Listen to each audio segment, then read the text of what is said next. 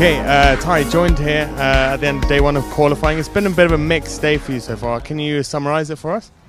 Um, it hasn't been the ideal day, uh, but we're still figuring stuff out. Uh, we're getting closer and closer on our setup on our car. Uh, it's just been kind of crappy how they've had to start the rounds, just so wet. Um, but tomorrow it shouldn't be that bad because we kind of start towards the end of the round. Uh, we won't be starting off a break, so I think it'll be better. Um, track will be more consistent, I think, and it'll be rougher, so it should be good tomorrow. Yeah, this morning you guys kind of started out as kind of track sweepers, so to speak, and then obviously round two, there's quite a bit of evidence that the track was fairly wet, so to speak. Of, but hopefully you're, you're looking that it looks better for tomorrow. Yeah, I think it'll be straightened out somewhat. Um, they'll be more consistent, I think, because we'll go straight from race 18 to ours instead of a big break. So hope, hopefully it's better, and hopefully it's a new day tomorrow. Joseph, unlucky or lucky 13th in round two? Super lucky 13. I mean, I must be the only guy to improve. The track was maybe 10 seconds slower. I crashed twice, had traffic, and went two seconds faster than my first run. And my first run, I didn't even make a mistake. I just drove very conservative and too slow. These guys were saying I was driving like a girl. Then I remembered Jessica Paulson, so you, I, you can't use that anymore. And also Marlin Carlson, so I don't know what I was driving like, but I was driving too slow. I got really mad at myself for the second round, drove aggressive, and it worked. Crazy. I don't know. I can't explain it.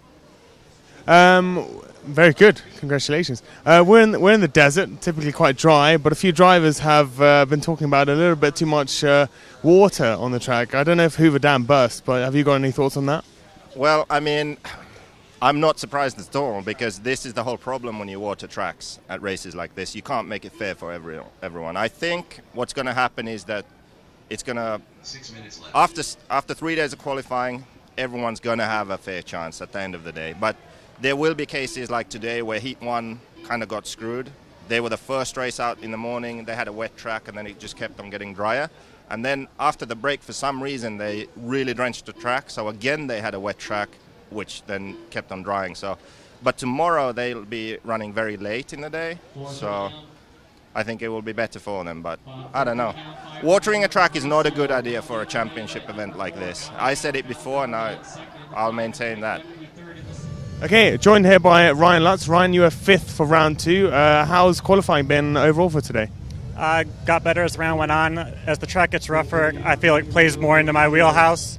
Uh, when it's kind of in that transition phase from smooth to rough, I feel like I struggle a little bit. It's kind of who can plow through the bumps the best, and I don't know, my lines just seem to get upset through that kind of rough. But when it gets really rough, I adjust my lines and feel like I can do well. We saw you racing a little bit with Ty in that second round, and uh, a few other drivers have been talking about the watering issue in Heat 1, but that doesn't seem to have affected you maybe as much. Heat 1, I think maybe we were a little slower, but my setup wasn't quite right either. Uh, heat 2, I think our track looked the wettest, but it seemed throughout the whole run, even as the track dried out, the lap times were pretty similar, at least for me, so maybe my tires just worked good for that whole run. And you, are looking very good for you know looking forward towards Saturday and everything. I mean, what are your hopes and expectations there? I definitely want to make the semis and then put a good run in the semis. I've done it the last two years, finished really well in the semis, so track keeps getting rough. I feel like it's going to be good for me.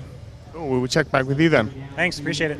Okay, joined here by Ben Panic at the end of uh, round two of qualifying. As you can see, the lights are on. It's uh, got a little bit dark. Ben, how's qualifying been today for you?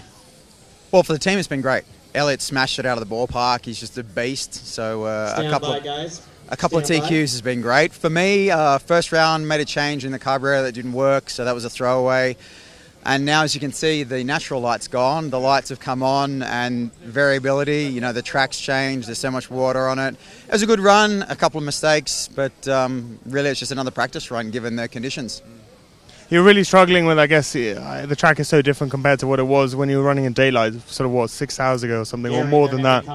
Yeah, look, I think there's a lot to be answered for. They need to have some sort of hard stuff off at five o'clock when the sun goes down. Uh, it's just, it's not fair for the guys that are out there now. It's dark, it's cold. They're still watering the track, so there's no consistency to any of it. And you know, we have to look at all the drivers, not just the top 30 or top 50.